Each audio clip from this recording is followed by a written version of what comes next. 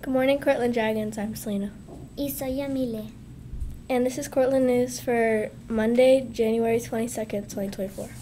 Primero vamos a hablar sobre las opciones del almuerzo.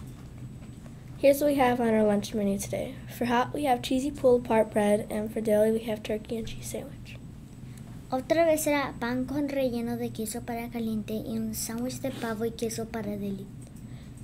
Looking ahead for lunch next day, here's the menu. For hot, we have hot dog, and for deli, we have bagel snack pack. El próximo almuerzo tendremos un perrito caliente para caliente y un paquete de bocadillos de bagel para deli. We have a blue ribbon to read this morning. This Blue Ribbon Award is presented to Miss Brown's second grade class for excellent hallway behavior returning from PE. Awesome job, Cortland Dragons, from Miss Paget. Great job, Dragons. Expectate. Remember to have fun, but still have kafuti while playing and be respectful of others. Keep being respectful, responsible, reflective, and safe. That's all the announcements for today, Cortland Dragons. I'm Selena.